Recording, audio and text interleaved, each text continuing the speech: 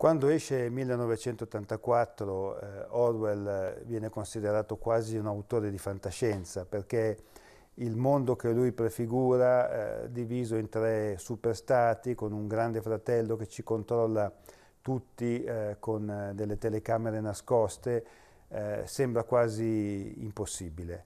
Eh, in realtà Orwell non soltanto precorso i tempi, non soltanto è stato profetico, ma ha eh, immaginato una eh, realtà che è meno pervasiva, ahimè, di quella che poi si è verificata. Oggi noi siamo controllati molto più eh, che da una telecamera fissa, quale eh, immaginava Orwell. Noi siamo tutti profilati attraverso la nostra eh, attività di naviganti sul web, sanno tutto di noi, dei nostri gusti, di cosa stiamo vedendo, di cosa stiamo guardando, di che cosa potremo comprare.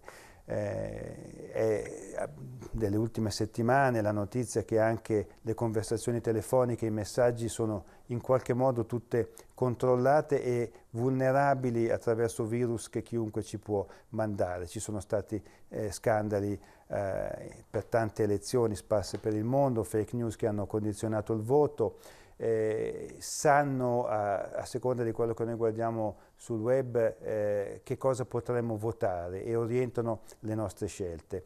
E quindi un mondo, quello attuale, che eh, dà un'illusione di libertà mh, quale mai l'abbiamo vissuta, ma che è forse il mondo in cui è più eh, invadente, più invasivo eh, il controllo sulla coscienza, sulla vita di ciascuno di noi.